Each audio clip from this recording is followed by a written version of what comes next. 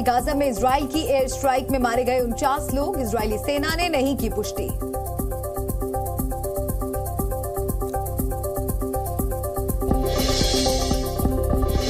Gaza के लिए 10 million dollar की आपातकालीन मदद देगा जापान। विदेश मंत्री योको कामिकावा ने किया ऐलान। इसराइल पर हवास के हमले की निंदा भी की।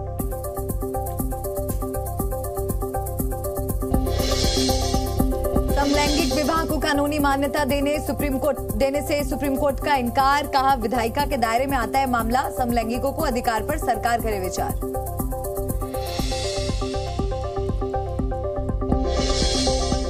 टीएमसी सांसद महुआ मोइत्रा की बढ़ सकती है मुश्किलें, बीजेपी सांसद निशिकांत दुबे की शिकायत को लोकसभा अध्यक्ष ने एथिक्स कमेटी को भेजा।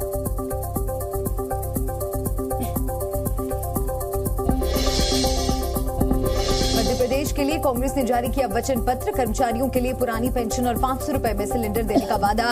ओबीसी को 27 प्रतिशत आरक्षण देने की भी बात।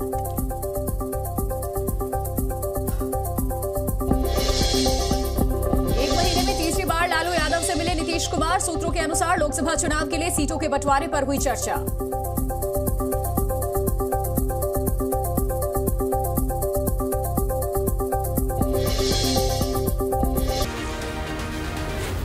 Z News.